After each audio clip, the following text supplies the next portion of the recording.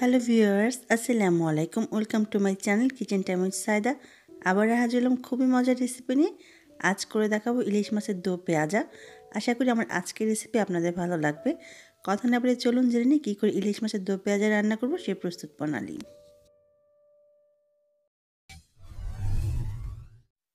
ইলিশ মাছের দো পেঁয়াজা করার জন্য এখানে আমি ছয় টুকরো ইলিশ মাছ নিয়ে নিয়েছি। প্রথমে ইলিশ মাছগুলোকে আমি সামান্য একটু ভেজে নিব। সেই জন্য আমি প্রথমে লবণ আর হলুদ দিয়ে মাছগুলোকে মাখিয়ে নিব। এখানে আমি সামান্য একটু লবণ দিয়ে দিলাম আর দিয়ে দিব হাফ চা চামচ পরিমাণ হলুদের গুঁড়ো। এবার খুব ভালো করে হলুদ আর লবণটা মাছের মাঝে মেখে নিব।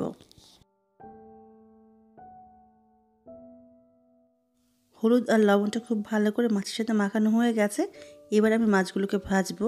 সেই জন্য চুলে একটি প্যান দিয়ে দিলাম। এবার দিয়ে দিব দুই টেবিল চামচ পরিমাণ রেগুলার খাবার তেল। ইলিশ মাছ ভাজি করতে অনেক বেশি তেলের দরকার হয় না, কারণ মাছ থেকে অনেকখানি তেল বের হয়। এবার যখন তেলটা গরম হবে, এর মাঝে আমি ইলিশ মাছের টুকরোগুলো দিয়ে দিব। ইলিশ মাছ ভাজা হতে খুব বেশি সময় লাগে না, যখন মাছগুলো এক পাশ ভাজা হয়ে যাবে, তখন আমি উল্টে দিব। ইলিশ মাছগুলো উলচে পাল্টে যখন দুই পাশ ভাজা হয়ে যাবে, তখন আমি উছিয়ে নিব।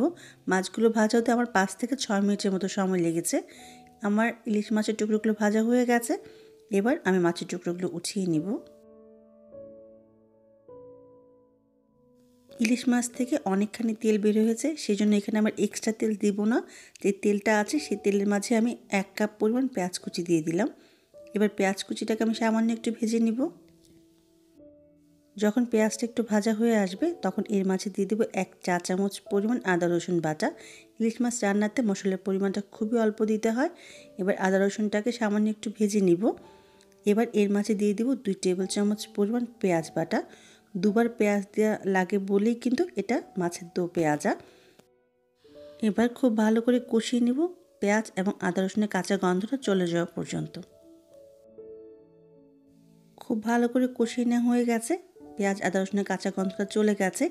এবার আমি গুঁড়ো মশলা দিব। প্রথমে আমি দিয়ে দিব এক চা চামচ পরিমাণ হলুদের গুঁড়ো। হলুদের গুঁড়ো দেওয়ার পরে আমি একটু কষিয়ে নিব। কয়েক সেকেন্ডের মতো এতে দেখা যাবে তরকারির কালারটা অনেক সুন্দর আসবে। তিরিশ থেকে চল্লিশ সেকেন্ড যখন কষানো হয়ে আসবে, তখন সামান্য একটু পানি দিব। আর হলুদটা এভাবে একটু কষিয়ে নিলে তরকারির কালারটা কিন্তু অনেক সুন্দর আসে। আবারও কয়েক সেকেন্ড কষিয়ে নিলাম। এবার এর মাঝে দিয়ে দিলাম এক চা চামচ পরিমাণ লাল মরিচের গুঁড়ো। এবার দিয়ে দিব এক চা চামচ জিরা গুঁড়ো। এবার খুব ভালো করে মশলাগুলোকে আমি কষিয়ে নিব। কষাতে কষাতে এর মাঝে আমি সামান্য একটু পানি দিয়ে দিব। এই পানিটা দিয়ে মশলাটা কষালে তরকারিটা কালারটাও সুন্দর আসে এবং মশলাটাও খুব ভালোভাবে কষানো হয়। এক মিনিটের মতো যখন কষানো হয়ে আসবে, তেলটা যখন উপরে চলে আসবে, ঠিক তখন এর মাঝে আমি একটা টমেটো কুচি দিয়ে দিব। এখানে আমি মাঝারি সাইজের একটা টমেটো দিচ্ছি। টমেটোটা একেবারে অপশনাল আপনার হাতের কাছে থাকলে আপনি দিতে পারেন। আর যদি হাতের কাছে না থাকে, না দিলেও চলবে। টমেটো দেওয়ার জন্য তরকারি কালারটাও সুন্দর হবে এবং খেতেও ভালো লাগবে। কষাতে কষাতে এর মাঝে দিয়ে দিব স্বাদ অনুযায়ী লবণ।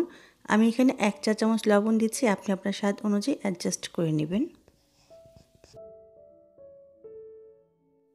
খুব ভালো করে যখন মশলাটা কষানো হয়ে আসবে, দেখুন তেলটা উপরে ভেসে আসছে। এই পর্যায়ে আমি দিয়ে দিব ঝোল। এখানে আমি দিয়ে দিব এক কাপ পরিমাণ পানি।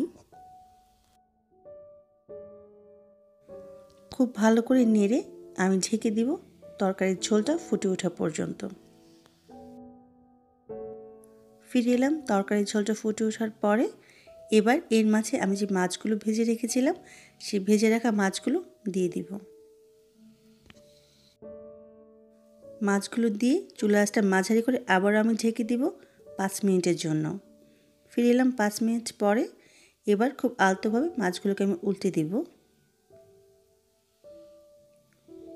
মাছগুলো যখন উল্টানো হয়ে যাবে, তখন আমি কিছু কাঁচামরিচ দিয়ে দিব। আমি আস্ত কাঁচামরিচ দিচ্ছি ফ্লেভারের জন্য। আপনি ঝাল বেশি খেলে মরিচগুলো কেটে দিতে পারেন। এবার চুলা আঁচটা আরেকটু কমিয়ে আমি ঢেকে দিব চার মিনিটের মতো। ইলিশ মাছ রান্না হতে খুব বেশি সময় লাগে না। ফিরে এলাম চার মিনিট পরে। আমার ইলিশ মাছ রান্নাটা একেবারে পারফেক্টভাবে হয়ে গেছে। আমি এরকম মাখামাখাই ঝোল রাখব, এবার চুলাটা বন্ধ করে দিব। দেখলেন তো কত সহজে তৈরি হয়ে গেল, খুবই মজার ইলিশ মাছের দো পেঁয়াজা। এবার আপনি আপনার পছন্দ মতো পরিবেশন করুন, খুবই মজার ইলিশ মাছের দো পেঁয়াজা। যদি আমার রেসিপিটি ভালো লাগে, তাহলে ছোট্ট একটা রিকোয়েস্ট থাকবে, আমার চ্যানেলকে সাবস্ক্রাইব করে রাখুন পরবর্তী রেসিপির জন্য। সবাই অনেক ভালো থাকবেন, আমার জন্য দোয়া করবেন। আবারও দেখা হবে, আল্লাহ হাফেজ।